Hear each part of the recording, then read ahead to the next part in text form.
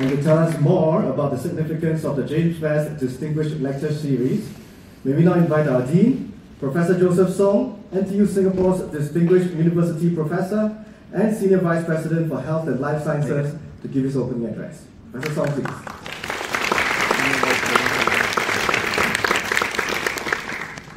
First of all, let me once again welcome James and Doris Best come back to NTU. Shall we give them a big round of applause?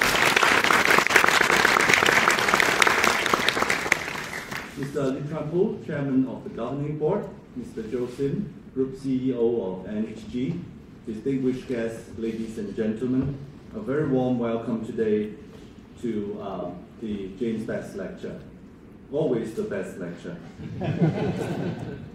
well, in 2022, uh, Lee Kong Chian inaugurates this uh, lecture as part of our 10th anniversary distinguished visiting uh, professorship and made possible by a generation uh, of uh, half a million from a very generous donor.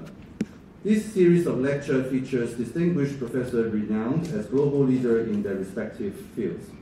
Through this platform, LKC Medicine play a crucial role in convening leading thinkers and industrial partners to dive into um, compelling topics in medicine and beyond, fostering dialogues and advancing discourses on the evolution of medicine, medical education, and research.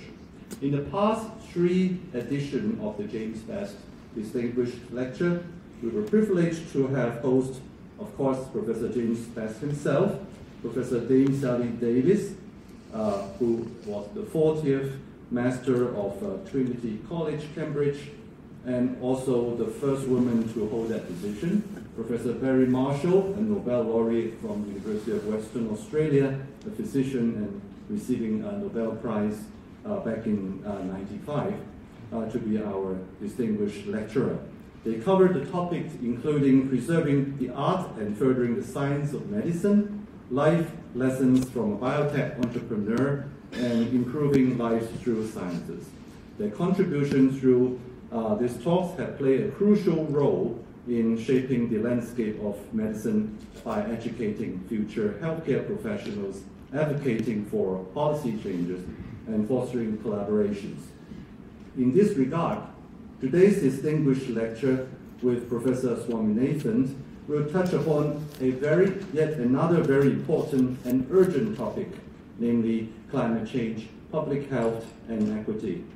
The impacts of climate change on health are multifaceted and include increased heat-related illness, vector-borne diseases, respiratory issues from air pollution, food and water insecurity, mental health effects due to extreme weather events, and displacement. In fact, um, a year ago, I don't even realize that um, climate change can have so many different aspects uh, affecting, affecting our, our health from physical to mental. As we witness the escalating effect of climate change worldwide, it becomes increasingly evident that these repercussions extend far beyond environmental concerns, seeping into every fiber of human health and well-being. The intertwined relationship between climate change and human health uh, demands urgent attention and concerted efforts in both local and global levels. However, progress has been uneven to effectively address the interconnected issues of climate change, public health, and equity. In Singapore, the Climate Impact Science Research Program has looked at how climate change affects the transmission of infectious disease. But there are many other aspects that we need to deal with. A recent systematic review study examining climate variability and air quality with population health in Singapore has also found several effects of climate change as such absolute humidity, ring 4, nitrogen dioxide, ozone, and they are positively um, influencing our pulmonary and cardiovascular health. At the national level, these are concerning for Singapore and what it means for our local health system. So I, I think I can see from the attendance of this uh, lecture today that this is really a problem that um, a lot of people are very concerned and we feel the urgency of doing something. So no person is better than our distinguished lecturer tonight, uh, Professor Soumya Swaminathan, to address uh, this problem. I'll leave it to James to uh, read her citation. In today's lecture, we shall explore the intricate relationship between climate change and health, examining its multifaceted impact, and discuss potential strategies for mitigation and adaptation. With Professor Swaminathan leading uh, this discourse, I'm sure we will gain some fruitful insight.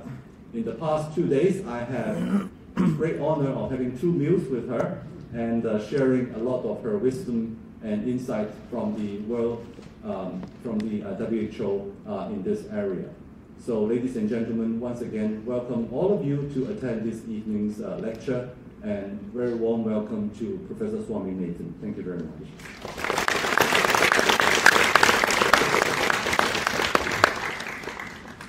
Thank you, Professor Sung. I'll now like to invite Professor James Best to read the citation for our distinguished guest speaker, Professor Soumya Swaminathan. Professor Best, please.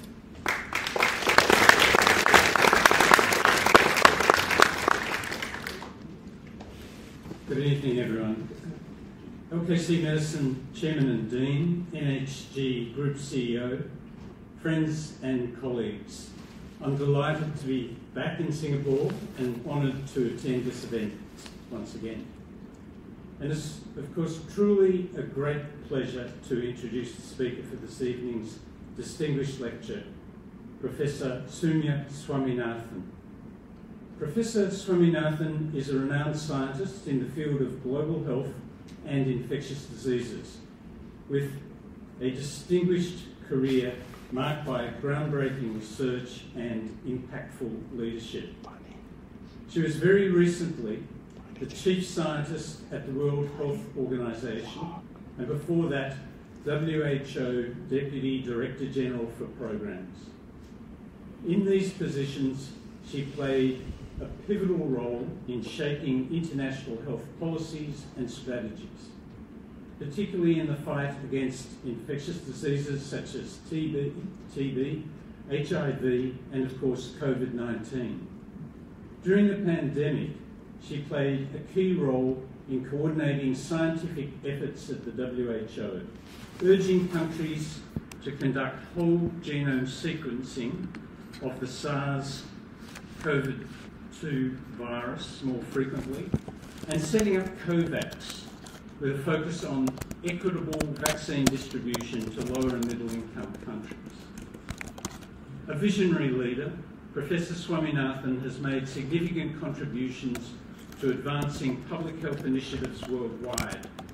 Her expertise spans multiple domains, including epidemiology, microbiology, and clinical medicine making her a leading authority in several fields. She has championed initiatives to improve access to healthcare services, promote health equity, and enhance disease surveillance and response systems. A paediatrician from India, Professor Swaminathan was also Secretary to the Government of India for Health Research and Director General of the Indian Council of Medical Research from 2015 to 17. Over the years, she's published more than 450 peer-reviewed publications and book chapters, and is a fellow of the US National Academy of Medicine, the Academy of Medical Sciences of the UK, and a fellow of all the science academies in India. Currently serving as chairperson at the MS Swaminathan Research Foundation, which was started by her late father. Professor Swaminathan aims to accelerate the use of science and technology for agricultural and rural development to improve the lives and livelihoods of communities. Professor Swaminathan, we're privileged to have you with us today to deliver this distinguished lecture on climate change, public health and equity. As our Dean mentioned, Nobody could be better qualified to address this topic, and we all look forward to the insights and wisdom you'll be sharing with us. I'm honoured to present, present our speaker for this evening, Professor Soumya Swaminathan.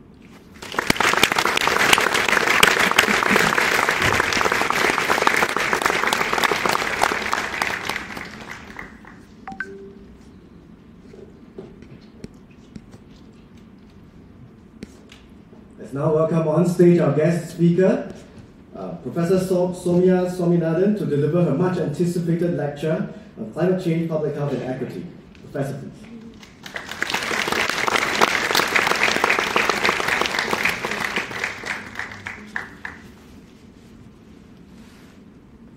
Good evening, ladies and gentlemen. Uh, Dean of the LKC School of Medicine and also the chair of the board, um, Dr. James Best, after whom this lecture is named, distinguished um, ladies and gentlemen in the audience. First of all, let me thank Professor Joseph Sung for uh, having invited me and uh, considering me uh, worthy enough to give this very distinguished lecture. We heard the previous speakers who have delivered this, and also for welcoming me so warmly to Singapore. And I've had a marvelous two days here interacting with uh, different uh, groups, uh, both in the NTU as well as outside. And, um, and also thank you, uh, Professor Best, for this very kind uh, introduction that I'm sure I, I don't deserve at all. Um, as a matter of fact, you know, as Professor Best mentioned, I'm a pediatrician by training. I haven't trained in climate science or anything like that.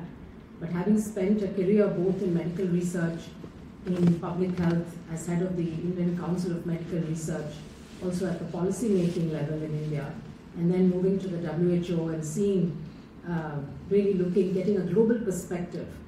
Um, of course, a lot of that was during the pandemic. So it was very colored by everything that happened during COVID, the good, the bad, and the ugly.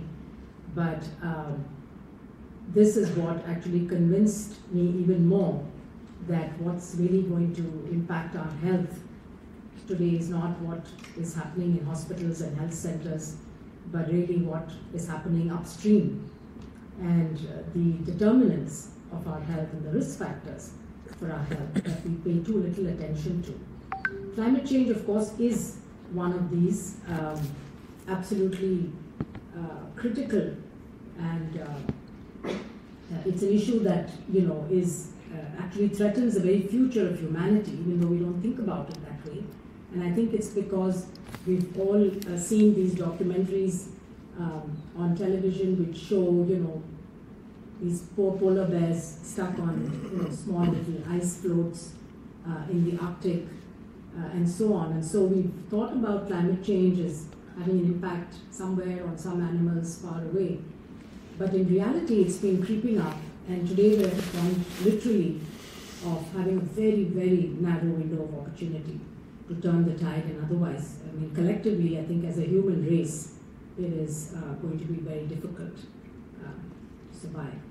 And we've, of course, had our, our world leaders uh, warn us about this, and uh, Mr. Guterres, the Secretary General, has been using, you know, uh, stronger and stronger language. He, you know, he talks about how it's, we're not in an era of global warming, but global boiling, and we're sleepwalking, you know, to climate catastrophe and things like that. Uh, there is enough data, of course, you know, we have the IPCC reports, we've had six IPCCs come out, and it's been very clear from the first report that human activity has led to climate change. Now, the strange thing is that we've had 28 COPs, and it was only at the last COP in Dubai that health was on the agenda despite the fact that you know it has such a huge impact on health. The WHO has been championing this for many years, but it was for the first time in, in uh, November 23, and this is where you know Tedros, Dr. Tedros made these uh, remarks and, and said health has to be a permanent feature of the climate agenda from now on because uh, clearly people are already being impacted. Their health is already being impacted. Now, you know, the World Economic Forum comes out with a global risks report. Uh, I, I, believe it's every two years. And they look at uh, the impact of various risks globally over a two year and a 10 year period. And you can see that, you know, everything that's in green color is an environmental uh, risk, and what you have in blue is economic, and the red is societal. And then there's also purple, that's the technological, the cyber uh, crime and AI and things like that. But if you look at two years, there's a fair amount of green there. But if you look at the 10 year risks, um, and clearly they're looking at the impact on the economy, you'll find that six out of the 10 are related to nature and the environment and to climate change. So I think there is no disagreement that this is, uh, and these are just some images that we've all seen, you know, over the last, particularly 2023, which has been, I think, the worst year on record in terms of heat, but also in terms of major disasters all around the world, whether it's flooding, cyclones, um, extreme heat, uh, including in Europe, the, the wildfires in Canada that impacted all of North America with smoke pollution. We had the terrible fire in Hawaii, you know, after 100 years where um, they lost a whole town and many people died. And um, the Horn of Africa has been having consecutive seasons of drought uh, and, and flood, and that's terrible because um, that really means that the land is then fit uh, for nothing. So we're already seeing things like, you know, not being able to grow crops, and that leads to, of course, uh, food insecurity, migration, and so on. In India as well, just in uh, the nine months between January and September, on 86% of the days, India actually experienced a weather event, an extreme weather event in one part of the country or the other. And the number of lives claimed is not insignificant.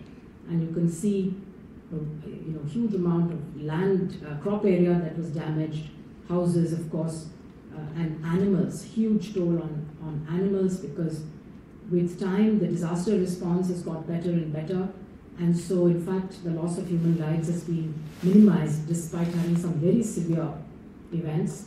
But unfortunately, animals cannot also be always saved, you know, at the same time. So this obviously then impacts those families that depend on agriculture and uh, on livestock. So how does climate change actually impact our health? And it's through many, many pathways, both direct and indirect. And on the direct side, of course, we can imagine that you know, temperature extremes, both heat and cold, rising sea level, and I think Singapore being an island is very acutely conscious of this fact, as are many of the small island developing states, where it's really a matter of existence. Um, if the, the, uh, the, predictions of the one meter rise in sea level by 2100 come true, then many of the low-lying islands really will, uh, may not even exist. Then we have floods, droughts, windstorms, wildfires, and of course air pollution that we'll talk more about. And then there are many indirect effects, as we mentioned, displacements that happen because the livelihoods are uh, no longer sustaining people. Health systems get weakened. You know, we've seen uh, health facilities being destroyed. Uh, and of course, healthcare workers themselves are people that they are affected as well by these impacts, impacts on food and water systems, and then Professor Sung mentioned infectious and vector-borne diseases. We know that dengue, for example, is fastest spreading vector-borne disease today globally, that malaria is now in places which it could not, uh, the mosquito anopheles could not survive before. And then just like the pandemic, we, we will see a worsening or an exacerbation of the social determinants and inequalities. And what we saw during COVID was that it did not create these inequalities, right? It only made them very obvious. And you could see who, in every society, who were the people, who were the most vulnerable, the marginalized, the one with the least amount of resources and resilience. And it happened in every country. I don't think there was a single country where one part of the population was not uh, more disproportionately impacted than the other. So this is what climate change is also doing. So this um, schematic basically uh, tries to link, you know, what the ecological determinants of health are. Uh, at, at the bottom, you can see the extreme weather, the habitat and biodiversity loss, uh, soil loss, water shortage, temperature rise, sea level rise, etc. And then how that impacts the social and structural determin uh, determinants of health, you know, housing, supply chain disruptions, education disruptions, and then health systems themselves, of course, are impacted, as we just said. And this then leads to all the other impacts to people that we just talked about. Um, there's there's a, an agency that does uh, global climate risk uh, index rating, and you can see the country I live in, India, of course, is very badly uh, at risk, but also is a large part of Asia, uh, sub-Saharan Africa, and Latin America. There's a Lancet countdown that comes up every year with they're tracking many indicators related to climate and health. And the report last year, uh, just a few of the facts there were that heat-related deaths of people older than 65 years have increased significantly, 85%. That the cities that were surveyed, at least a quarter of them, were concerned their health systems were, will be overwhelmed. And labor loss, I think industry um, doesn't fully get the fact that there's going to be a huge amount of productivity loss because of heat, for example, in the tropical countries. Temperatures already last year was the first time that we hit the 1.5 degrees. As you know, the IPCC had given the 1.5 degrees as you know sort of the upper limit, beyond which the impacts on humans will be very unpredictable and will be very dire. But we already hit that 1.5 last year. Of course, it doesn't mean that we've crossed that. You have to sustain it for, for uh, several years before we can. But it's indicating to us that we might be at the point where we're crossing the 1.5 that countries had agreed in 2015 in Paris that they would do everything possible to not cross the 1.5, right? And we're already there. Now we're looking at can we stay below 2 degrees warming? And if we rise to 2 degrees, then these are all the things that would, ha would happen. Heat-related deaths, you know, increasing quite a bit, heat-related labor loss, uh, lots of people experiencing, 500 million additional people experiencing food insecurity. We know after COVID that food insecurity actually has gone up for the first time uh, in, in many years.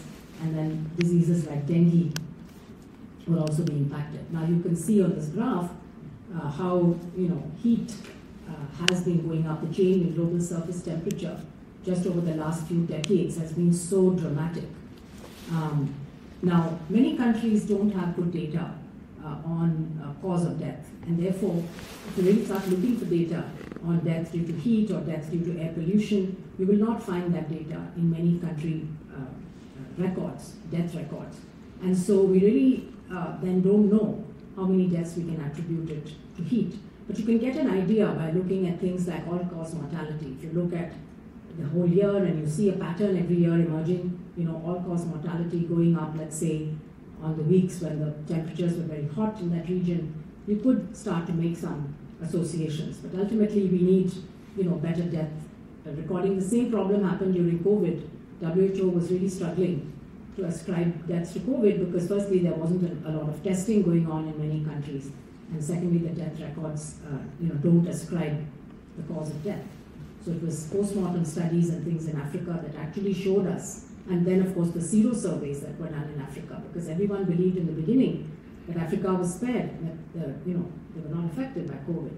The fact is that serological surveys showed that almost 80 90% of the population actually had antibodies. So everybody had been exposed. They had lower deaths because um, they're much younger population, the median age being 18 years, but they also, uh, you know, did not record the, the, the, deaths. So we, we know that uh, weather predictions have improved dramatically in the last few decades, and now we get very accurate uh, weather predictions for a few days uh, or even weeks in advance, and therefore we need to start using these to take action, you know, on the ground, to warn people, to give advice, to prepare health systems. Now, it may, it may be difficult to read the schematic, but again, heat impacts all parts of the body, and basically what it does is it causes vasodilatation uh, of the blood vessels.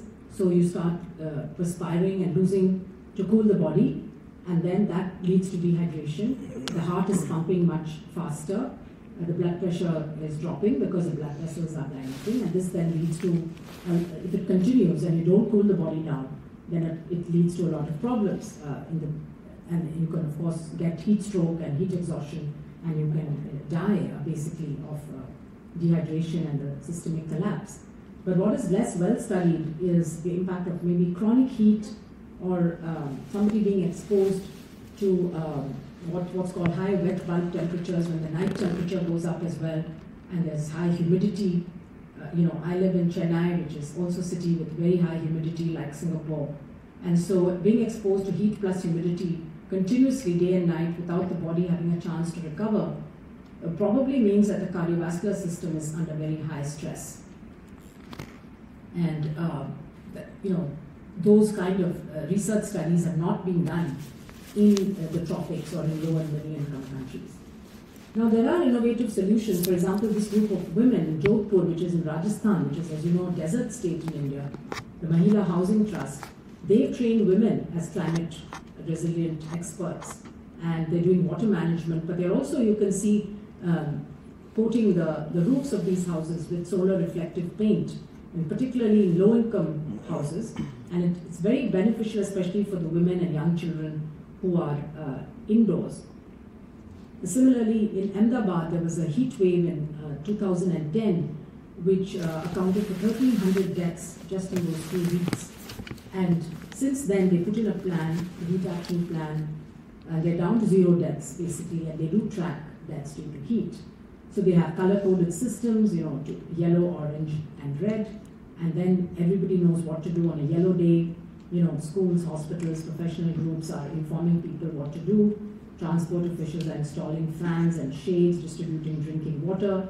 And then on a red day, even things like temples, public buildings, malls are turned into cooling centers, you know, where people can come and cool down with air-conditioned place with, uh, with water. Hospitals set up extra wards uh, with staff who are trained how to, you know, diagnose and treat heat strokes.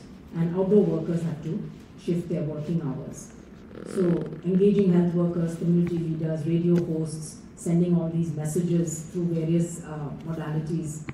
And then, of course, having training women on how to protect themselves and, and their children. So, so these are some of the images uh, as to what Ahmedabad actually does during the heat. And more and more, I think cities are going to have to do these kind of uh, take actions.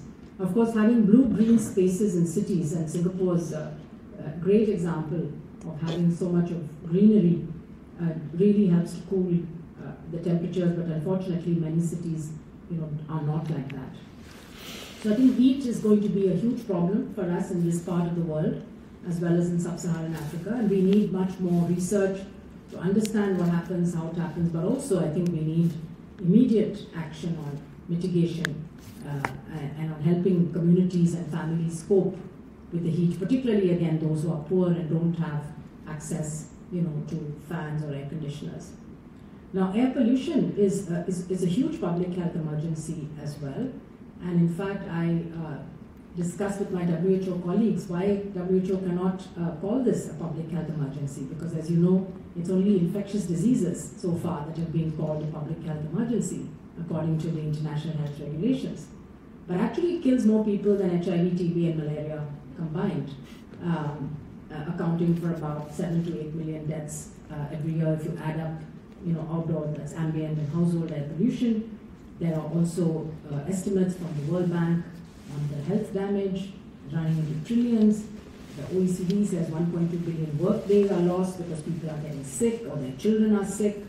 And I know, for example, in North India, it's really bad in the winter. Schools have to close down, you know, mm. people have to take off from work. It also impacts agriculture, it reduces uh, crop, uh, global yields of crops, and um, a big problem, of course, still is uh, access to clean fuels. And in many parts of Asia and Africa, women are still collecting uh, firewood and using biomass for cooking and heating purposes. And this again is something that disproportionately impacts women. And despite all of this, very little global finance has been committed to targeting air pollution. Now, of course, fossil fuels are the, culprit for both air pollution and climate change. So if you address fossil fuels, both of these should improve. Now, this figure in the middle basically shows you the global distribution of the PM2.5 monitoring stations. And you can see that, you know, the monitoring stations are concentrated only in some parts of the world, and there are other parts of the world where we don't even know. Uh, and so it's similar to COVID testing, you know, the whole of Africa, there's, there's hardly any monitoring but we know that they're exposed to very high PM2.5. You can see there, you know, the entire sub-Himalayan belt in the Indian subcontinent is impacted, particularly in the winter months. Now, the WHO standard is to have, uh, for people to breathe a PM 2.5 of less than 5 micrograms per cubic meter uh, as annual uh, mean. And the report that just came out yesterday, the IQAir report, basically says only 10 out of 134 countries achieve the standard. And these are all islands and small countries. Australia and New Zealand fall in that group, but other countries, Finland, Estonia, you know, there are no large countries really uh, in that. So 99% of people worldwide are breathing air which is above the WHO standards. The worst air quality is over Asia and Africa, particularly in the developing countries. We know the sources, variety of sources, factories, industry, vehicles, power plants, but also fires, more and more, the wildfires and dust and other natural sources account for quite a lot in some countries. Uh, looking at data from our National Family Health Survey, we found that the PM 2.5 levels were highest in clusters with uh, high prevalence of poverty. Now, last year, um, a group of us came together and formed a group called Our Common Air. And in fact, uh, this group was formed basically to bring attention of the world's leaders to uh, this problem of air pollution and also produce uh, papers that uh, provide scientific solutions, uh, financing options to make an economic case to, to tackle air pollution and to put out a call for action. So these uh, set of papers will be out very soon in the next couple of weeks. And uh, we've had very encouraging good uh, feedback from the World Bank, for example, who has and is prioritizing air pollution uh, along with the climate. And so I think most of the development banks, if they all uh, pay attention to this problem, then at least you know the grants and loans that they give can be used uh, so of course, the first step is, you know, you have to monitor, you have to find out what the problem is and how much it is. So we saw the map, large parts of the world don't even have air quality monitoring stations. And you need them in both urban and rural areas. Then, you know, we've got to do source apportionment studies because the uh, causes of air pollution may vary a little bit. We know the major contributors, but can vary from city to city and even from season to season. So that type of analysis is helpful to know where to intervene where you're going to have most impact. Then, you know, this link between air pollution and illness and death, the same as between heat.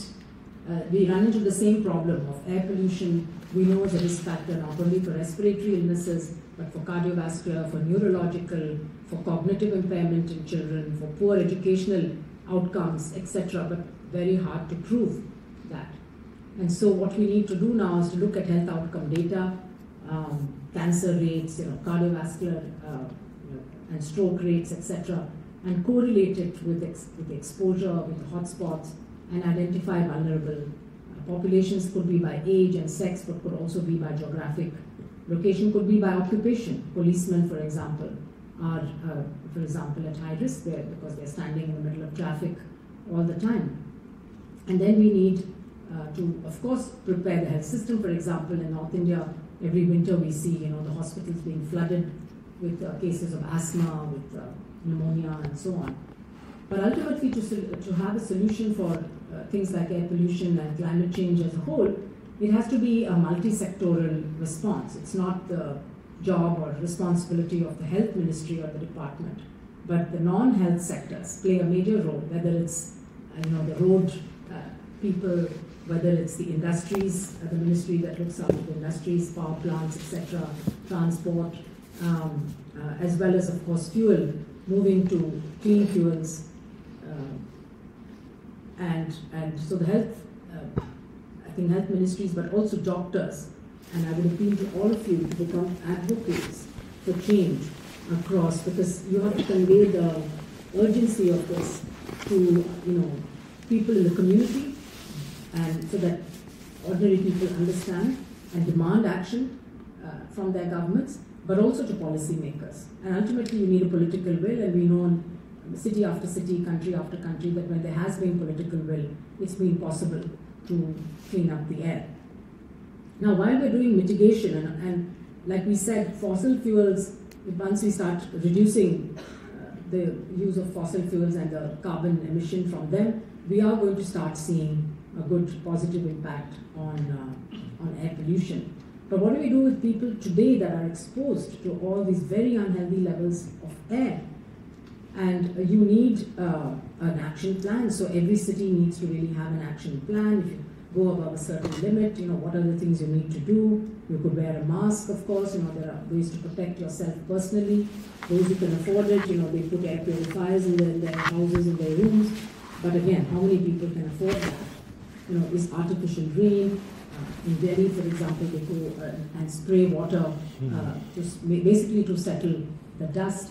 And yesterday, I was uh, very privileged to visit the uh, institute here, the Temasek Life Science Accelerator, where I saw this device that you can see uh, a picture of. It looks like an ordinary plant, an ornamental plant that you might have in your office or in your house, but actually, it's capturing these particles by emitting ions. They've, they've discovered a technology which uh, plants emit these negative ions, and if you can stimulate them, they emit them even more faster.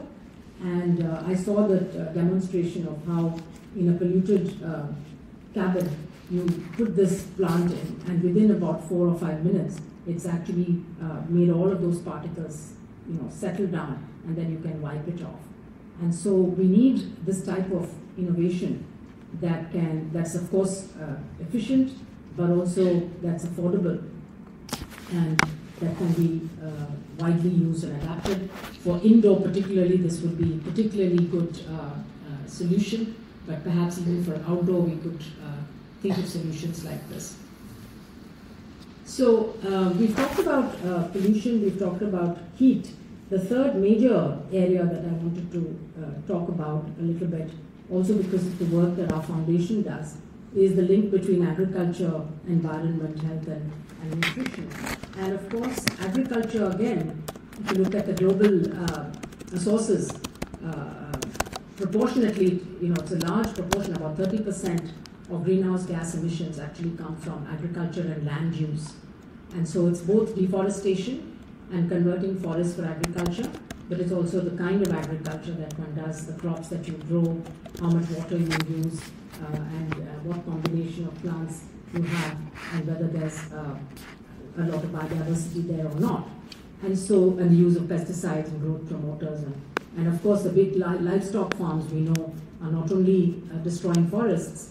Uh, in, in Brazil, for example, where the rainforest is being destroyed to have cattle farms, uh, so that uh, large amounts of beef can be produced and exported, basically because the demand for animal protein has gone up so much.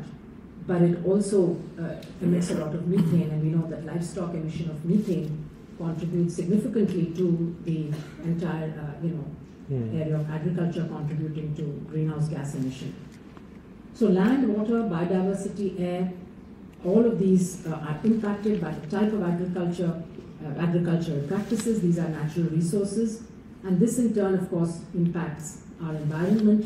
There's water depletion and contamination, soil depletion, degradation. There's a lot of research now showing that the nutrient content of crops in many parts of the world is going down because crops, the soil has uh, lost its, uh, it's not healthy anymore.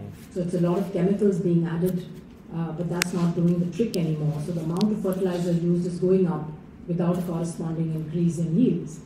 And then, of course, you've got a loss of plant and animal diversity because we're growing the same crops. So globally, 70% of uh, the crops, food crops, are rice, wheat, and maize.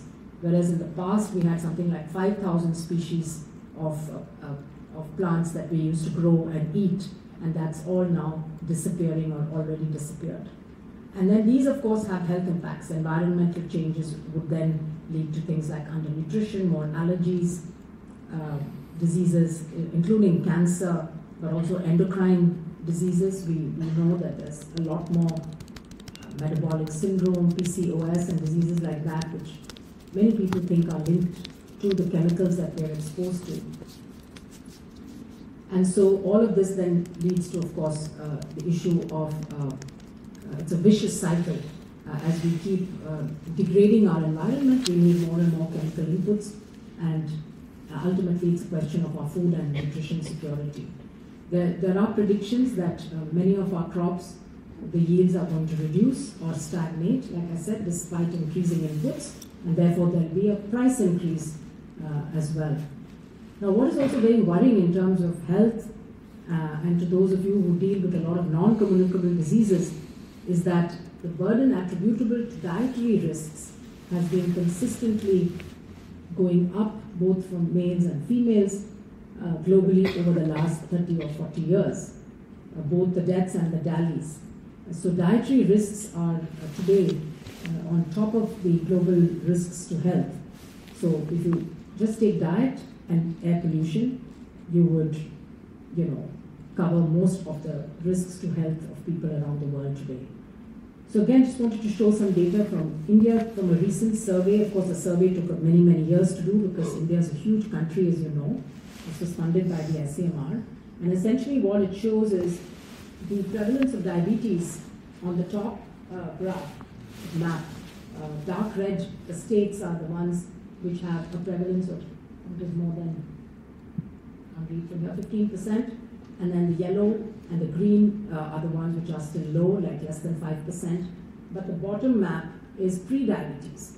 And as you know, pre-diabetes usually will convert into diabetes unless you take some action. And therefore you can see that huge part of North and Central India, which actually has more malnutrition and more poverty, which is why they are a little bit behind South India. South India, as you know, is considered more developed, there's more literacy, there's you know more industrialization, people are uh, uh, earning more, and therefore they had this epidemiological transition a few decades ago, whereas the north of India is just sitting on a time bomb, waiting to convert from pre-diabetes to diabetes.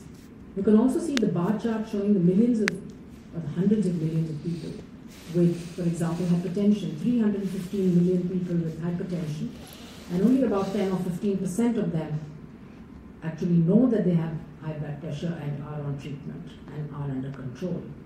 Obesity, abdominal obesity, you can see 350 million, and we have 100 and at that time one, but now it's 111 million people with diabetes and about 150 million with pre-diabetes. So of course the numbers in India are always very frightening because our population is, is so big.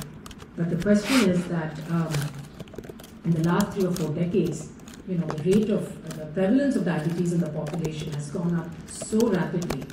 And so this, obviously our genetics hasn't changed.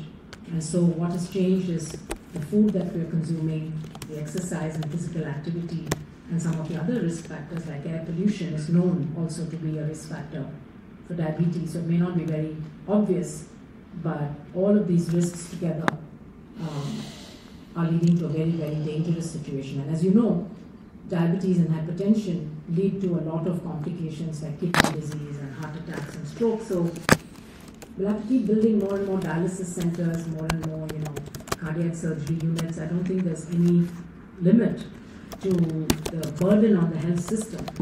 And this is why, again, I believe that we have to focus more on prevention and health promotion and really make um, people able to live uh, healthier lives. Now, this uh, graph is from the Atlas of Sustainable Development Goals, the World Bank. And essentially, they said a healthy and nutrient adequate meal, one meal, uh, should cost about 80 cents a day. And then if you look at this graph over here, basically what it shows is as the GDP per capita reduces, 80 90% of people in those countries cannot afford a healthy meal. So in India, it's something like 70%. In Tanzania, it's 90% of people. So uh, it's also a question of affordability. We, we can tell people eat a healthy meal, but can they afford, afford it? it? Is it available? Is it accessible? And is it affordable? Now, are there solutions to these things? Yes. And I think we have to start looking at biodiversity climate change. Again, we've got two global uh, groups or mechanisms or platforms. We've got the Convention on Biological Diversity, the CBD, and they have their own COPs. They talk about biodiversity, they come up with their own uh, commitments and resolutions and targets and indicators. And then you've got climate change and the IPCC and the COP. Uh, they, we also have national commitments and, and so on. But I think we need to start looking at, at both of these together and linking them with human health and well-being. We know, for example, that shifting climatic zones uh, lead to displacement of species, more frequent wildfires, lead to destroyed habitats. Similarly, deforestation, which is an issue on the biodiversity side, leads to decreased carbon sequestration. And similarly, land degradation leads to increased greenhouse gas emissions from the soil. The same thing in oceans. And again, we pay less attention to the oceans Hmm. because it's not visible before our eyes, but we know that corals are getting bleached at a tremendous rate. And uh, it's believed that, you know, we, there's a real good chance that corals are not going to survive uh, the, the rate at which the water temperatures are rising. Um, with oxygen depletion and acidification, there's decreased biodiversity in the water. Similarly, destruction of seagrass beds leads to decreased carbon storage. So mangroves, seagrasses, uh, these are all, you know, they, it's called blue carbon because they, they do capture a lot of carbon. And then overfishing, which is again human beings, uh, obviously means that there's much less. So again, nature has its ways of protecting uh, us, and, and mangroves is a, is a very good example of a nature-based solution. Not only do they sequester more carbon than land-based forests because you know they have these roots, but they also sequester it for much longer if you don't cut them down, of course. They protect, for example, when we had the tsunami in, in uh, South India uh, in 2004, uh, villages that were protected by mangroves suffered much fewer casualties than there, where there were no mangroves to protect them from the waves. They also, there were 100, 1500 species that depend on mangroves. Um, it, it, it, gives people food security. You can see that uh, the tribal women uh, from the Irula community over there, they do fishing with their hands, you know, and uh, now they're finding it very difficult because the, the waters got polluted and they say that the prawns and crabs are not uh, as much, they can't find them anymore. So and they're naturally resi- resilient to climate threats because, of course, they are saline tolerant and they have an amazing root ecosystem. There's probably a lot of bioactive molecules there to be discovered, and they also have traditionally known to have medicinal properties. So we worked in these uh, mangroves, uh, especially on the east coast of India, for a long time, trying to conserve them. And the only way to do it um, sustainably is to involve communities and to ensure that communities get something out of it. They should also have a stake, and unless they are getting an economic return for conserving the mangroves, um, most people won't be motivated to do that because these are all quite poor people. Similarly, we have millets. Now, the millets are good for environment and also good for health. They are they take much less water to grow, so they're very good at growing in dry areas. They they grow faster. They are rain fed. They use minimal amounts of fertilizers and they need pesticides and can store the seeds. So this picture of this is of a seed bank that's run by women in one of the tribal villages that we work in. And it's just like a bank, and people come in and they can borrow seeds to plant in their fields, and then when they have a good crop, they come back and return double the amount of seeds so that you have enough seeds for the next um, cycle and so on. We also have a huge diversity, and as I mentioned, um, there are many minor millets that are now going out of, uh, you know, they're just not uh, being cultivated anymore because there is no government policy to, uh, to support the farmers that grow these millets. They have a lot of health benefits. Of course, I think we need more randomized trials to look at things like pre-diabetes, for example, or even diabetes. You know, how much can it help with, uh, for example, replacing rice, particularly uh, polished white rice, you know, with millets. We know that it's very low, in, uh, it's gluten-free, um, it's got higher protein than rice, uh, and it's also got higher micronutrients. Um, but again, there needs to be government policy, you know, to support this. Similarly, there are a lot of what are called NUS, neglected and underutilized species. This picture here is of a of a root like a yam.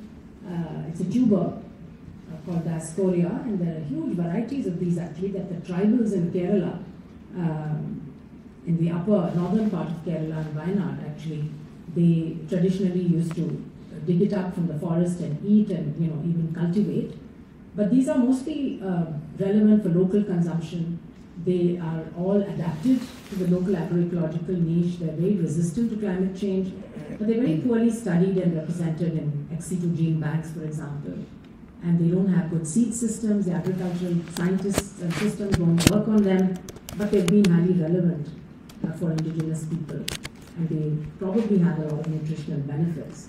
So again, uh, indigenous cuisine is slowly being forgotten, and this is again a group of women, uh, tribal women in Tamil Nadu, who are making a porridge with one of the millets called ragi, and they have different preparations that they make for different festivals. So we've been reviving some of these, uh, and these are uh, women from nine different tribes in Odisha, which is in the eastern part of India. And again, these are the women whom we call the genome saviors because they have conserved and preserved the plant genetic resources of that region, not only rice and millets, but also they have immense knowledge about the medicinal plants that grow in that region. So we have a regional center there uh, where we uh, also conserve these medicinal plants and, and their traditional knowledge. Of course, the lifestyle of all of these people is changing now with the with development, with education, and so on. So I want to move on to um, this is I think quite obvious mm. to, to everyone, but mm, you know it does disproportionately impact women. Like many shocks um, that we see, uh, particularly when they women have uh, other uh, issues like poverty, and because of existing roles and responsibilities and cultural norms in society. So UNDP says women and children are 14 times more likely than men to die in a disaster. But then here are all the other ways in which women's life just gets more difficult. There's crop failure, you know, they've got to feed their families, you know, so it's their responsibility. Water scarcity, they have to walk longer to collect water. Conflicts, we know that women are, you know, always very badly impacted, and we're seeing what's happening in conflicts around the world. And there's specific violence against women that always happens. Um, there's lack of access to healthcare because these women then don't have time to look after their own health. They're busy dealing with these other issues and caregiving responsibilities and so on. So right from birth, you know, to old age, uh, women's health is impacted by climate change by rising temperatures, water, air pollution, and natural disasters. Now, one of the problems, of course, is that um, you can see the proportion of women who earn, own uh, land, for example, and the, the, red dots are the men the blue dots are the women. Now, Cambodia is very, Cambodia, Myanmar uh, are very good because there women and men seem to own uh, or have equal rights over land but in the other countries, Afghanistan, Nepal, Indonesia, India, very, uh, there's a big discrepancy. And so even though women actually uh, do a lot of the agricultural labor, they are not eligible for loans, you know, they uh, don't have the same access to tools or technologies as men have. So our foundation has always had a very big focus on women and empowering women. And again, these are some data from UN Women showing that you know the global food system uh, is very gender uh, unequal. And, again, uh, children are impacted uh, as well, and uh, and of course we've seen children impacted in major disasters, but also by things like air pollution, heat waves, and uh, respiratory infections due to pollution, but also education. You know, schools get flooded. We saw what happened to children during the pandemic in most developing countries, you know, learning was disrupted for two years, and many of those children did not have access to online platforms, and so they've been permanently affected by that uh, those two years. Uh, similarly, now there's this uh, psychiatrist that started describing what's called eco-anxiety, where young children, not necessarily those who've suffered themselves, but even those children uh, who are quite well off and uh, are watching things on television and so on, on the news all the time, you know, the bad news about uh, these climate disasters, that's leading to eco-anxiety. Uh, in fact, even during, uh, while I was at the WHO, these surveys on mental health that periodically come out, uh, the very worrying trend, and we attributed it, some of it to COVID, but it's continued beyond COVID, is that the mental health of the young, that's 18 to 24 years age group, is actually you not healthy at all. And so they're scoring much lower than, for example, their older uh, people. Whereas 18 to 24 year age group historically had the best, they're the most happy and the most optimistic. That's the happiest age to be because you're looking forward to your entire life. So that age and then old age when you're over 70 or 75, then you're also quite relaxed and happy. Um, but the trend is now changed, and 18 to 24 actually has the worst Mm. mental health uh, scores on depression and anxiety. And so that I think is uh, extremely worrying for the world uh, as a whole. There's another tribal lady from Orissa who's uh, doing, uh, got the Padma Shri Award from the President for natural farming.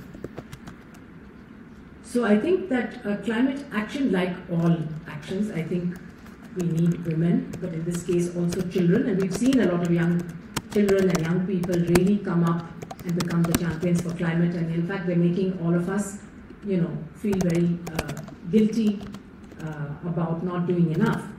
And I think it's it's right because they, they say that you know this generation that has power today is failing them and not really thinking about their future. And if you talk to a lot of school kids, they do have you know this view. But I think that women are always you know the first responders in communities. They're the ones who take care of both people at home, but also if you look at healthcare workers around the world, you know we know that 70, 80 percent are women, especially the ones who are like the community health workers and the nurses and so on. So definitely they will play a very major role in any kind of resilience. Now, at the World Health Assembly, uh, every year they count the number of uh, women leaders of delegations, and it's very sad. The statistic has always been under 20%. Similarly, at COP, they look at women representation in government delegations to the UNFCCC. Again, it's, I think, not, not very good. Uh, there are many uh, global tracking systems now, the Global Health 5050, that looks at the heads of health organizations globally. Uh, no, we're very far away from gender equality. Um, so empowering women will definitely mean better climate solutions. In fact, there's data that when provided the same access to resources as men, women can increase agricultural yields by 20 to 30 percent. and empowering children obviously enables them to meaningfully participate in just and equitable climate actions, especially since these um, decisions are going to impact them. Now, we've already spoken about this, so I won't dwell on why, uh, but there's more and more data now coming out showing that heat waves, for example, uh, during pregnancy can lead to more preterm delivery as well as eclampsia, etc. Now, we did some analysis just looking at uh, districts in India that have had recurrent droughts over the last 50 years, and we found uh, a correlation between women being underweight, also girl-child marriage, because when uh, there's extreme poverty, then one of the things that happens is that girls are married off very young. Teenage pregnancy, of course, follows, and intimate partner violence all increase in, in those places where there is recurrent drought. Now, moving a little bit towards the health and what we're going to do in terms of uh, healthcare and, and dealing with all these issues, uh, this graph actually shows the healthcare expenditure as percentage of GDP. So again, you know, we have many countries that are only spending three, four percent or less on uh, of their GDP on health. Of course, some countries are spending a lot and still maybe not getting the same outcomes. Um, but also the share of out-of-pocket expenditure on healthcare around the world is still quite high. So clearly, the solution is universal health coverage and particularly strengthening primary health care, paying attention to the workforce, which is often neglected, especially again the women. They, do all of the menial jobs, and when it comes to leadership positions, you know, women are not there in the health system. We have to, like I said earlier, pay more attention to prevention and health promotion. Uh, in addition, of course, to managing people who are already sick. Now, cardiovascular disease, for example, this is the leading cause of death, uh, MIs and strokes uh, globally. But most of them can be prevented if we address the risk factors like diet, air pollution, smoking, and high blood pressure. So, these four or five things, if it can be done well, you can actually reduce the burden of cardiovascular disease. The local needs of the population will depend on local agroecologies, climate vulnerability. So now, for example, in India, we have a climate vulnerability map. And of course, the coastal districts, for example, will be more vulnerable to uh, you know, floods and cyclones and sea level rise, whereas the, the states in the middle might be more prone to heat, drought, etc. Gender sensitive and gender transformational policies are going to be very important. And mental health, not just of the people we serve, but also of the health workforce because they get stressed. As you know, during COVID, there was huge amount of burnout uh, especially, a lot of people just left the nursing and the medical profession. And uh, a word about the healthcare system itself contributing to climate change. And if you add up all the health facilities in the world, then they emit 5% of global greenhouse gases. So they would be like, I think, number four or something if you put the list of countries. So health system as a whole is a contributor, not just because of the infrastructure, the buildings and the electricity, etc., but also the supply chains that are used, the amount of plastic, the amount of, you know, Hmm. uh, disposable things we use, the food, where is it coming from, and all of that.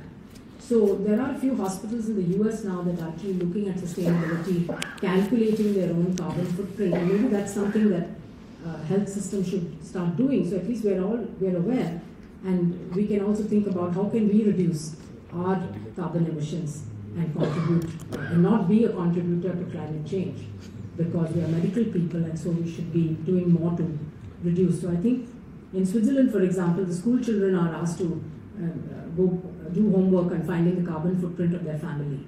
You know, so they're taking a lot of uh, holidays abroad and things like that.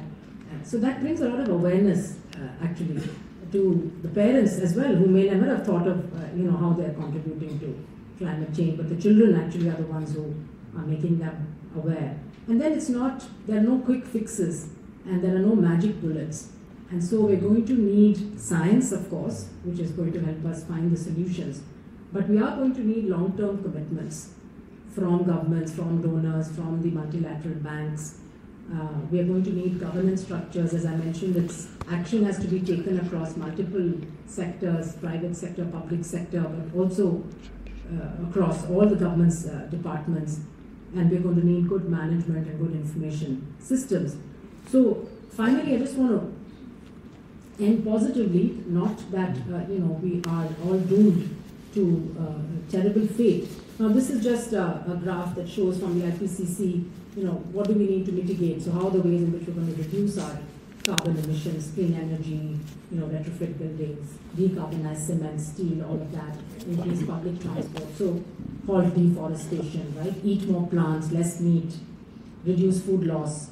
So, all of this is going to help mitigate, that means reduce our uh, greenhouse gas emissions. Very urgently needed, of course, because if we continue to emit the kind of uh, carbon we're doing today, we have very little space uh, left. And we have, you know, by 2030, we were supposed to, I think I have this graph, yes, by 2030, we were supposed to have a 43% reduction. Now we're already in 2023, and we've made like uh, hardly any reduction from 2019, right?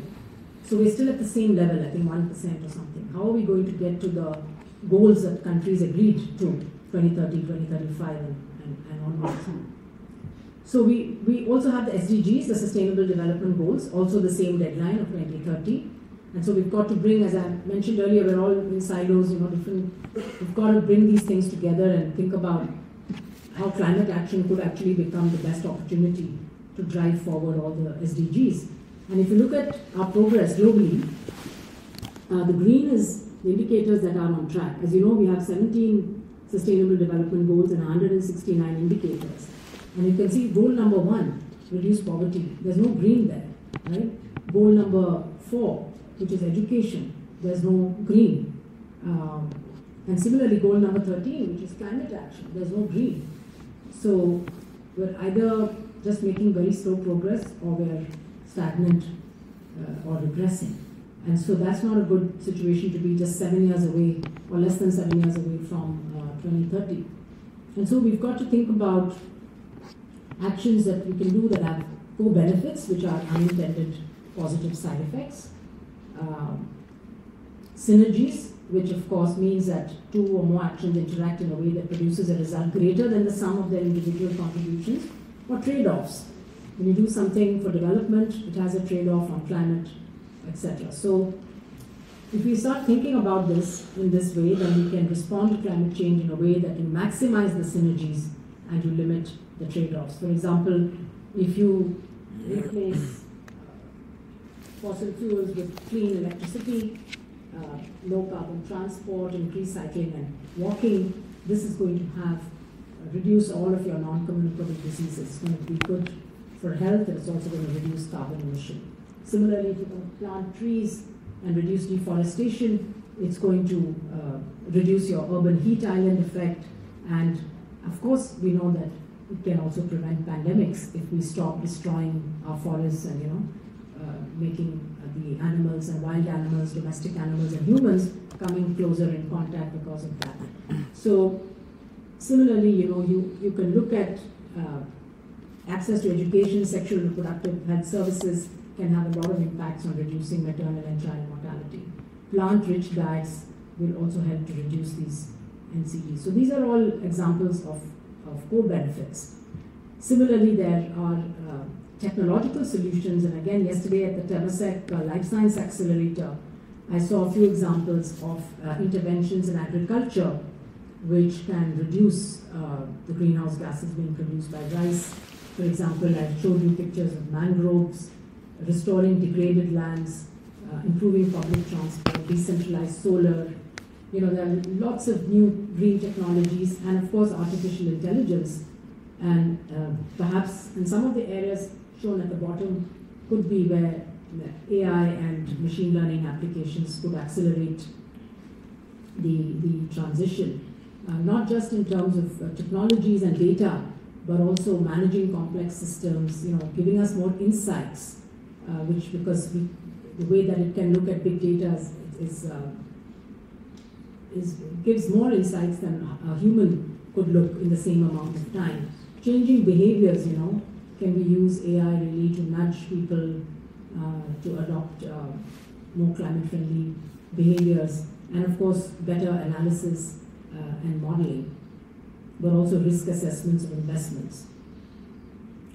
So uh, finally, I'd just like to end with a, with a few slides which also I want to highlight the need for more research and particularly for research that is more implementation science and helping to co-develop solutions with the affected uh, communities. So we do need, and there are very few or hardly any long-term multidisciplinary studies that are embedded in communities so that we not only understand the mental and physical health impacts, uh, and each community this you know could be a little bit different uh, on health, but also on social structures, on livelihoods, on migration patterns, etc.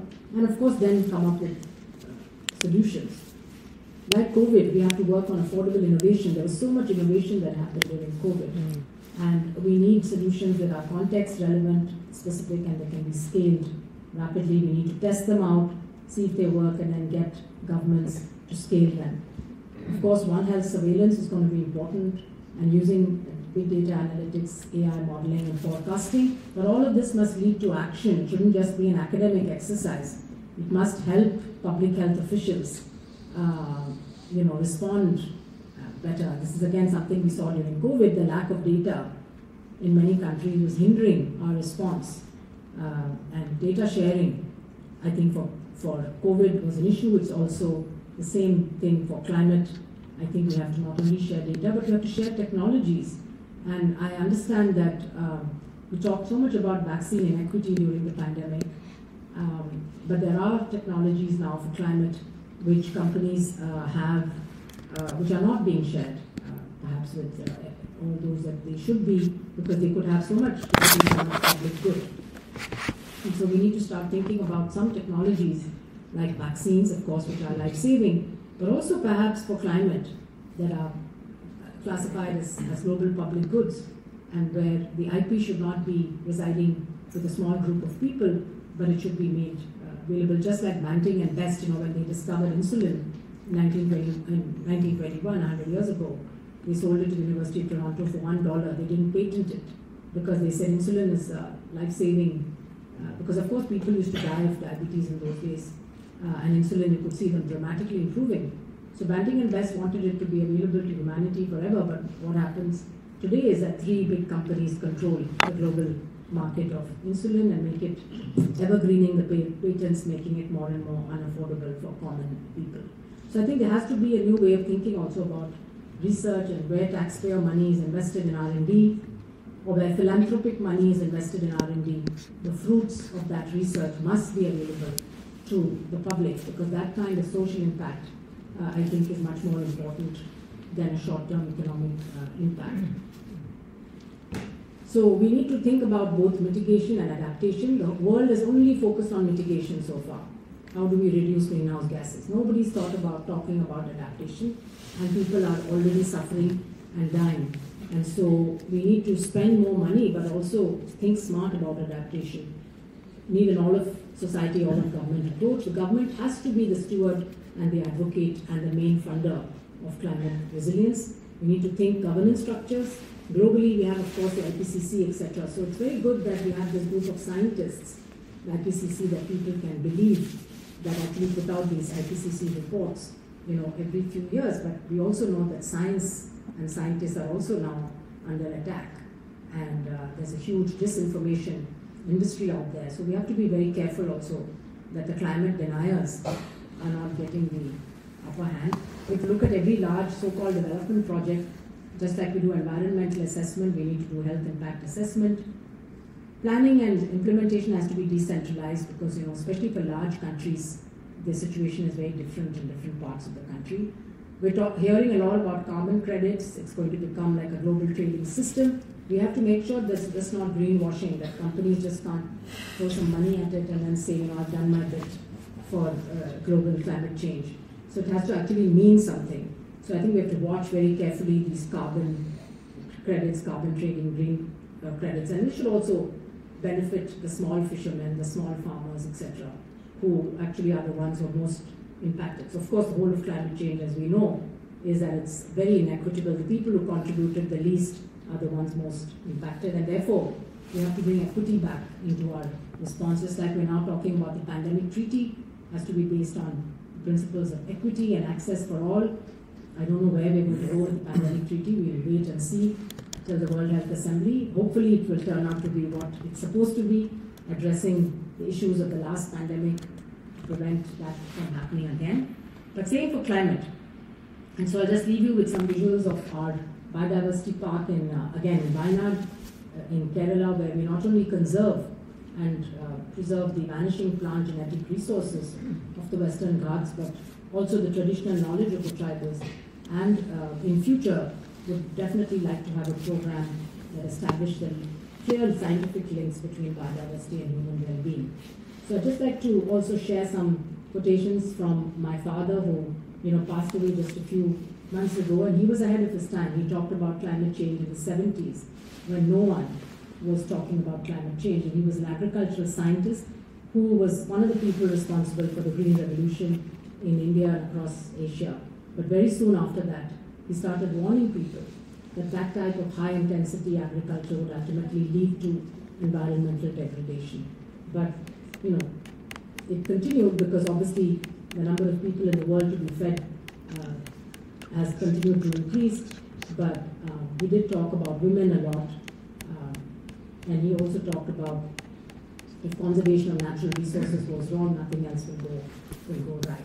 And again, about collective excellence not just individuals, but collective work and collective excellence is what leads to revolutionary progress, not just individual uh, brilliance.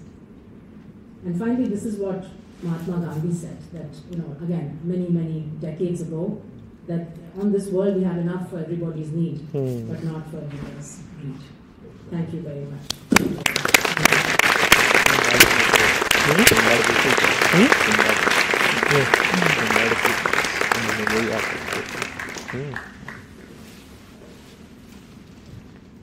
Thank you, Professor Swaminathan. Can I invite you to take a seat on stage, please? We will now move on to the Q&A segment to be chaired by Associate Professor Joanne Manskin and Purvis. Now, she is LKC Medicine's co-director of Family Medicine and Primary Care Unit and Primary Care Research Network. Associate Professor Manskin and Purvis, please. And to our guests, if you have a question, just raise your hand and my colleagues will pass you the microphone so you can ask a question to the experts. Over to you, Professor. Uh, well, thanks so much, and a very big thank you for that fantastic talk. I think that you've uh, demonstrated that we've got lots of challenges ahead, but I think that uh, also on an individual and organisational level, lots of reflection, I think, about how we can all contribute to addressing some of these challenges that, that you've brought to us today. So whilst we're getting people to think about their questions, um, we're going to continue to learn from you for a little bit longer in this Q&A session. And so um, your work and your presentation today show this really important interplay between food, climate, and health. We're sitting in a medical school um, looking at training the doctors for tomorrow. What advice would you have for doctors and, and maybe how we need to start thinking about a One Health approach rather than just our traditional disease based approach? Yeah, I think that's a great question, and it goes back to our training, of course. And when we train as doctors, we stay in the hospital, so we're dealing with uh, uh mostly sick people who come in, and we're not often uh, trained to ask about. Uh, again, when I was at least when I was trained, I mean there wasn't a lot of social science built into our training, so we're not exploring the family circumstances or. And I, I, I realized when I because I worked on TB for a large part of my career that if you sit in the hospital and you deal with a patient, it's a very different perspective you get when you visit their home because we used to visit their homes quite a lot when they did not come for treatment or they, you know, something was not okay. And then you realize the circumstances in which those people are living, you know, what the family issues are like, you know, the children may or may not be going to school, etc., because of uh, extreme poverty. Um, and for them, it's a choice between shall I go and earn my day's living or shall I go to the hospital and take my TB drugs. So those gives you insight. So I think for medical scholars, uh, students, it's important uh, to to go out in the community and get an idea of how people live and work and the environment. And I think um, for a place like Singapore, probably it would be a good idea for people to go out and you know have some exposure in other countries, so that you get a reality check of how many people are actually living, even in this region. And um, and then the other thing I think very important is the social science and uh, ethics perspectives that I think we need to include into our uh, curriculum. Okay, so I think people are still thinking of their question, so I'm, I'm going to, uh, to move on to the next one. Um, you have played some uh, very critical leadership roles, including during the COVID pandemic. And you've talked about the fact that women and children are, you know, impacted disproportionately by some of the issues that you've talked about, poverty, climate change, and the like. Um, but you've also highlighted a lack of women in leadership. Um, why do you think the female voice is so important in leadership, and how can we promote more women to some of these leadership positions to really be able to these challenges?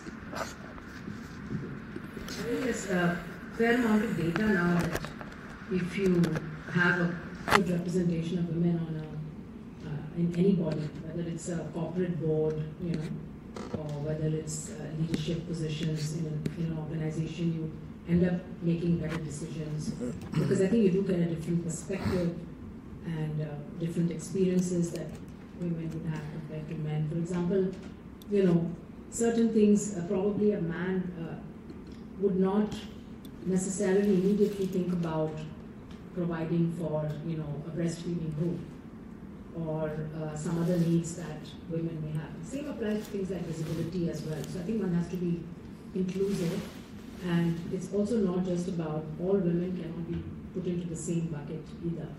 You know, so women also have different experiences depending on what their other social circumstances are.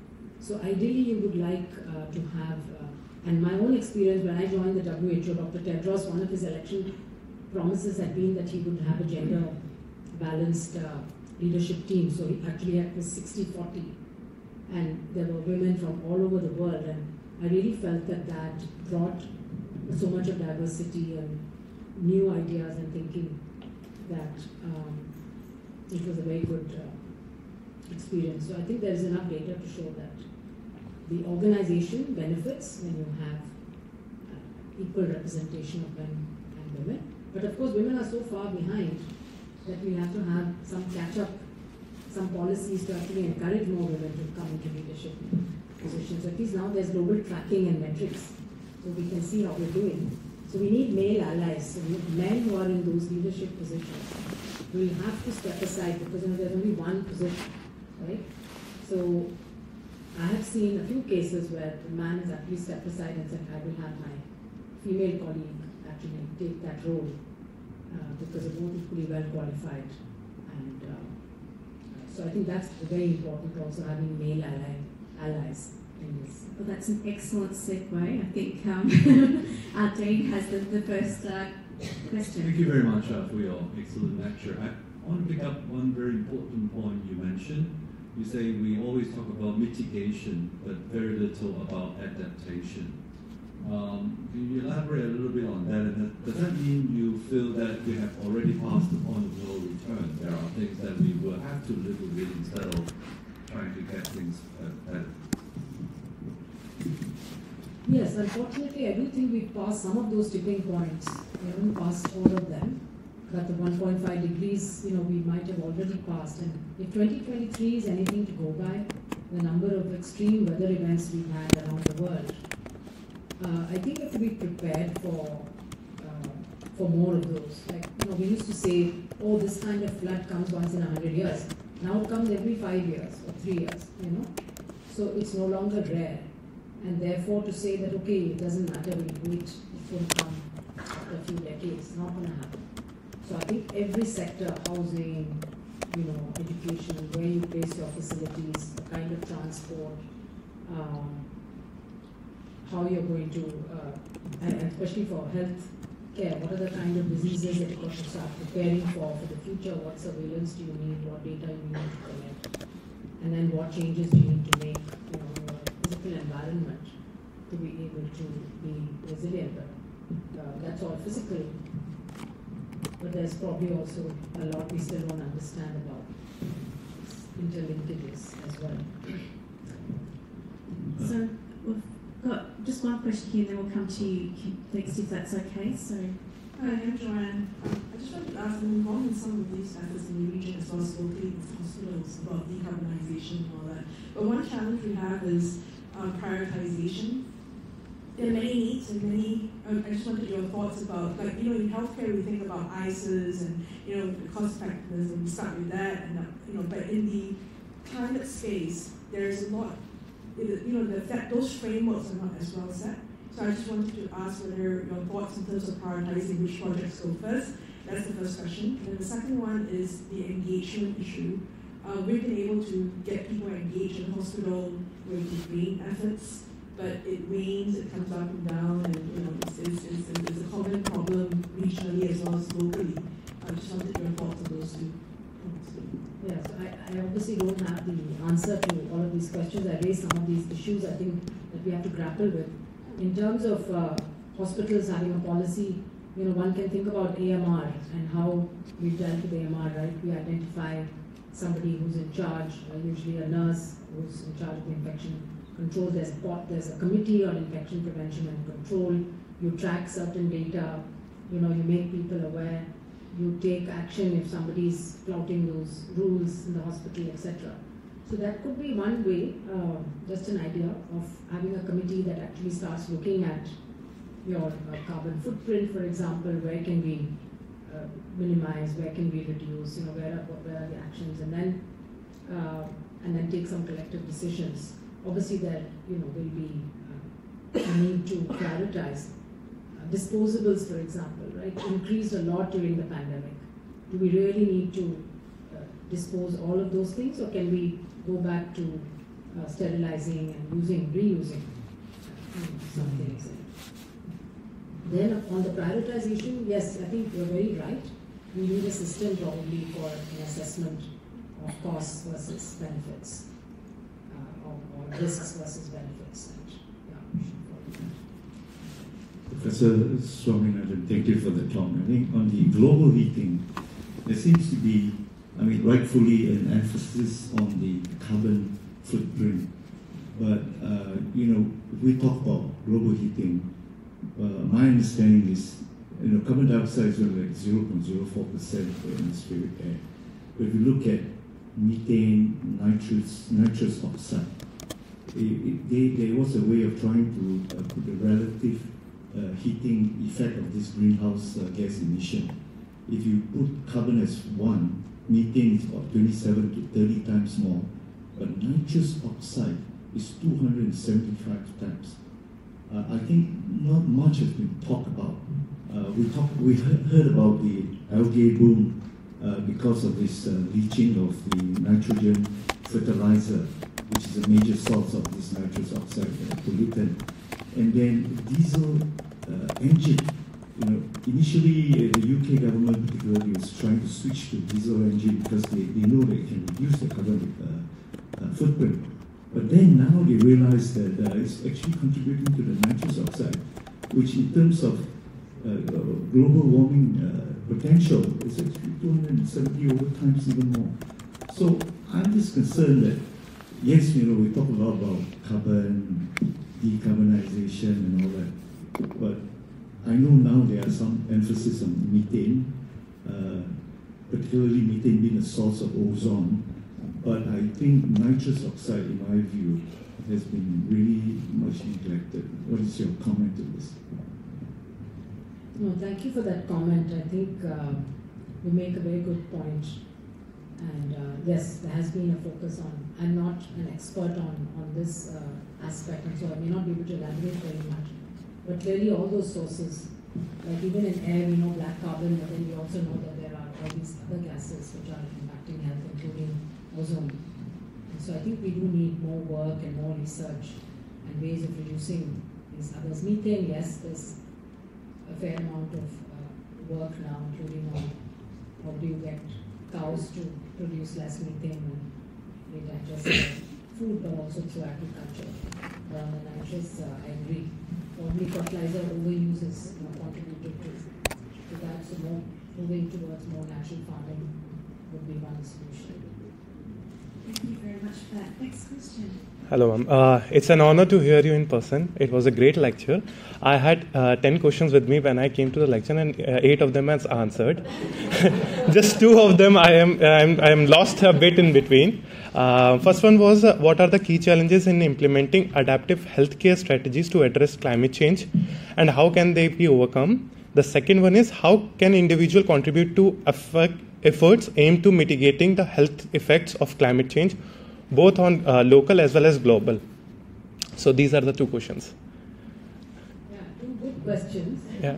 Um, let's see if I, we can answer them briefly. Yeah. So I think individual, let's take individual Yeah. contributions. Obviously, you can uh, try to reduce your own uh, carbon footprint, Hmm. you know, by doing many things like walking and cycling instead of or taking public transport instead of taking your car. Mhm. You can turn off the lights and fans. You can minimize water wastage, food wastage, etc. Eat local. You know, so all of those things are good for your health and good for climate. Okay. Um, in terms of Global. uh, health impacts, I think we have to go back again to preventing uh, disease, you know, and uh, more of uh, health promotion. So during COVID, we found that uh, the people who got severe COVID were those mostly with underlying diseases. Of course, the older Hmm. people, but then those who had underlying diseases like diabetes or hypertension and things like that. So countries which had a high prevalence of non-communicable diseases, they also had higher mortality even in the younger age groups. So I think these links, you know, between non-communicable infectious diseases are some things we may not expect. But again, I think it's uh, on the individual level, each person can make a difference.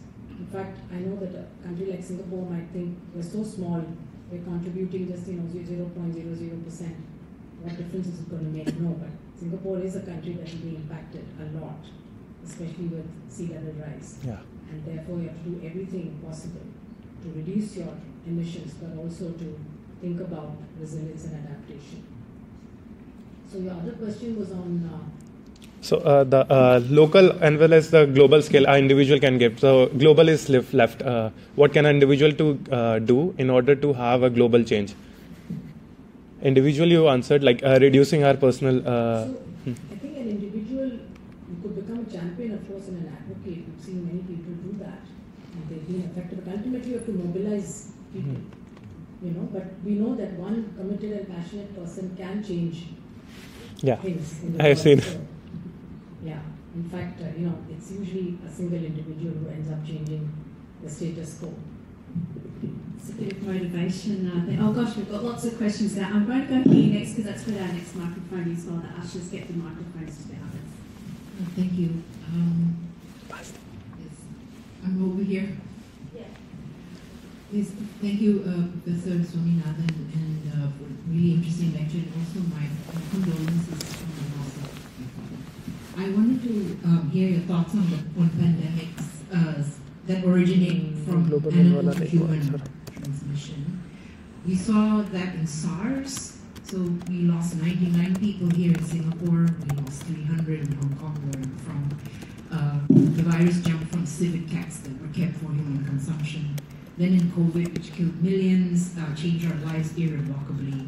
And despite all the subterfuge and all the, the, the, the ambiguity, it's also probably likely due to animal to human uh, transmission. So I'd like to hear your thoughts on, on, on what we've learned in terms of animal to human transmission, in terms of animal husbandry, in terms of living in close proximity to animals, uh, reducing our consumption of meat, um, and, and, and you know what can we do to prevent the next pandemic that um, is spread that way? Thank you. I think it's to be very hard to prevent the next pandemic. I mean, I think what one can do, of course, is to try and minimize the risks, but also to work on trying to minimize an outbreak from turning into an epidemic and then into a pandemic. So, with a focus on you know better surveillance and of course response action as soon as you discover it. now with genomic uh, surveillance we find out much more rapidly. For SARS one it took you know several weeks and then it took just a few days for SARS two. Um, we know that you know the more frequent well a lot of factors play a role as to why zoonotic diseases are increasing. Some of it is of course loss of deforestation and the contact between wild animals, domesticated animals, and humans. For example, wild birds and birds that are, are domesticated, uh, breeding birds, they come into contact.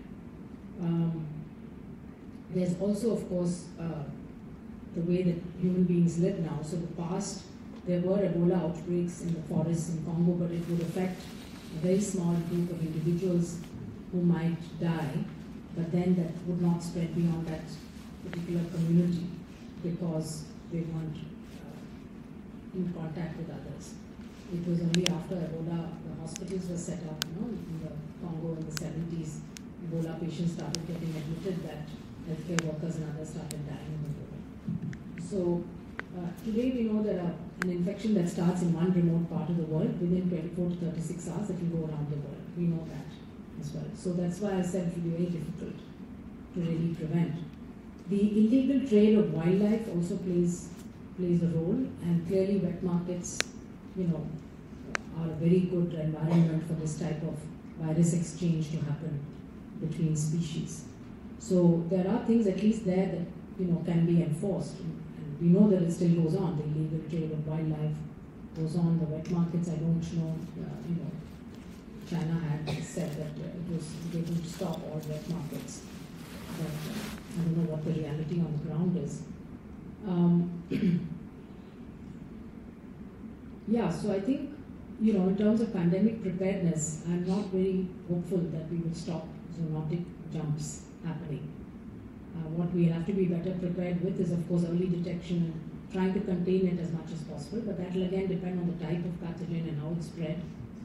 Um, and then being ready with uh, the countermeasures, the vaccine, uh, prototype vaccine platforms, more research on antivirals. You know, we don't have enough antivirals uh, or, or uh, companies developing antivirals and um, you know better diagnostics and, and things like that.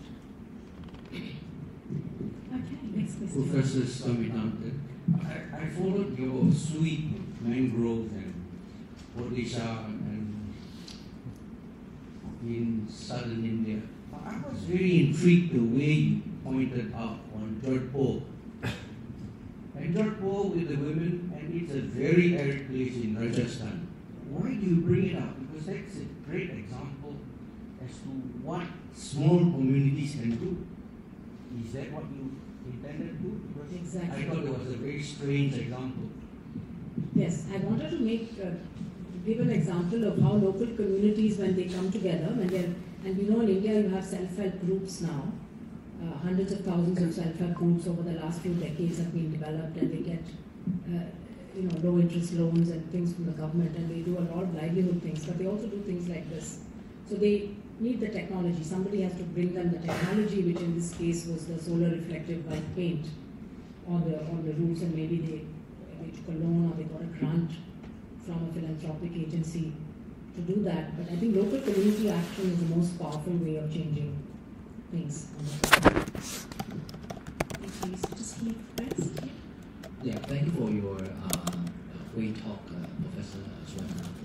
Uh, so as you know that I joined appointed by uh, Asian School of the Environment and also LKC School of Medicine here. We did a lot of the research looking at change, pollution, and health impact. So we produce a lot of like the evidence to demonstrate the impact. So we always uh, have a question.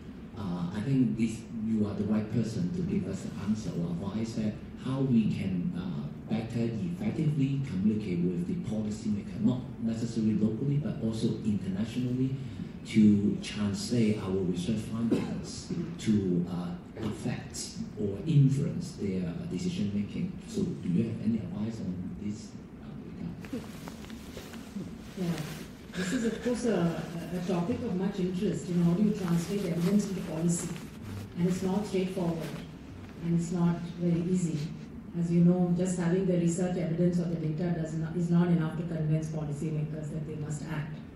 It's a political economy that is important, and uh, so this is why uh, it's it's a difficult. Uh, it's, there's no clear scientific answer to that question. That you do these these things and then you'll have this result. It doesn't work like that. But uh, at the same time, we have to try, and I think. Um, one way is, of course, to first generate the data, generate the evidence, and politicians like to see local data. You know, if you tell them this is happening in that country, they say, okay, but how do you know it's happening here? And, you know, they try to postpone taking decisions. So, at least regional data, local data is important. Then you must have a solution.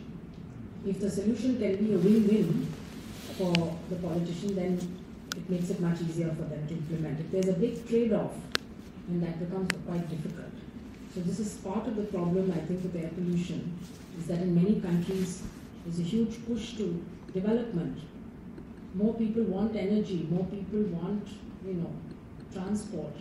And so, you know, can't switch immediately to everything clean and therefore fossil fuels are continuing to be used because people without energy, you can't tell them let's now wait, you wait for 10 years till you get energy. That's not fair either. So there is always a trade-off and when policymakers meet, they're always looking at these. Uh, and as someone said, prioritizing. So you've got $100 to spend, where do you want to put that? And not everybody is going to prioritize the health of the population as coming over everything else. And we know that investing in prevention, for example, is unpopular because you don't see anything. There's nothing in front of your eyes to see.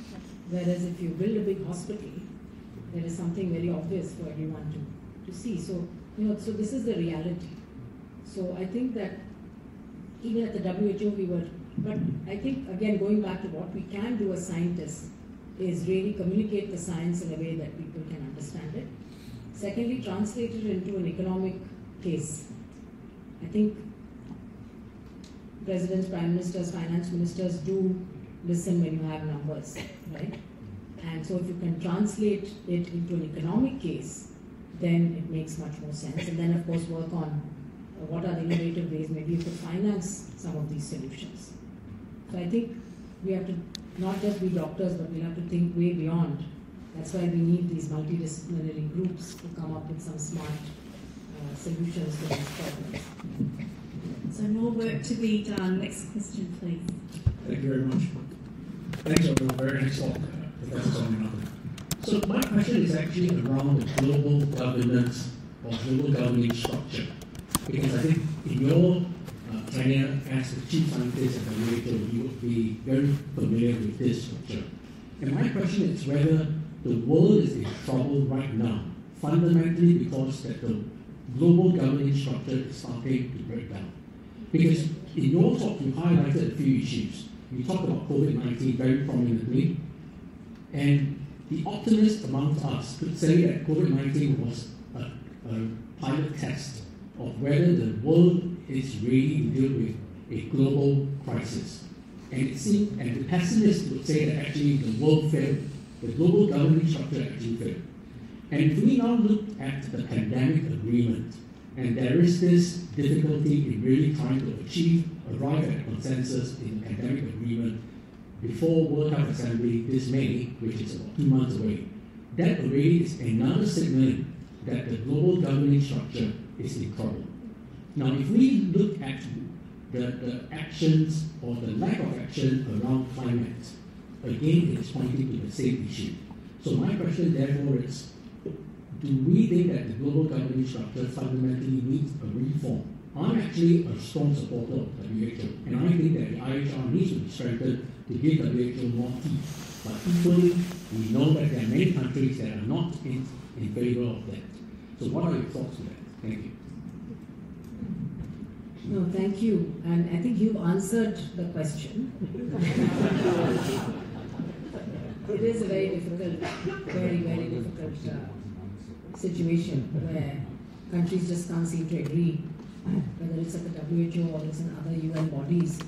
There are, you know, the high-income countries versus the low-income countries, those kind of blocks and these arguments which are happening across many. So, of course, for climate, the low-income countries are saying we didn't bring this upon us, us. We didn't contribute. So you should now fund